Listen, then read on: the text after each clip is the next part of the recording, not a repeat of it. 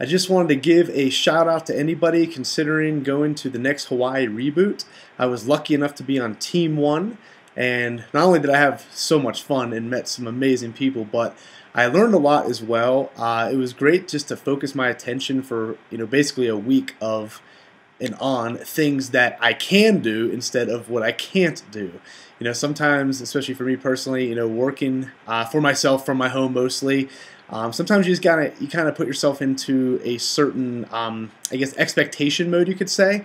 So it was great to put new programs in my mind that are focused on going for things that are truly like huge, just huge things, you know, huge business things for me personally and uh, it was great just to really focus on that for a week. And now here I am, um, you know, making this uh, testimonial probably a couple months later, and I'm actually doing it. I mean, I'm going for things that I never even had the guts to go for before. So.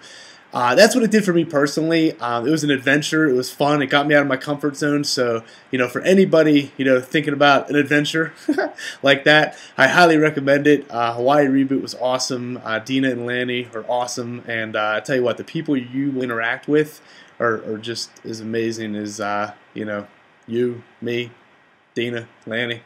You know what I'm saying? Like the people who are going to be there. I mean, think about that. Who is going to go to Hawaii Reboot? I mean, only amazing people. That's it. So uh, you're going to have the best time ever, and I highly recommend this retreat to anybody who wants to make change in their life. So I have a slogan that I made up, and I don't know if it'll stick or not, but basically I say Hawaii Reboot, where you focus on things you can do instead of things you can't do. So, anyway, bye.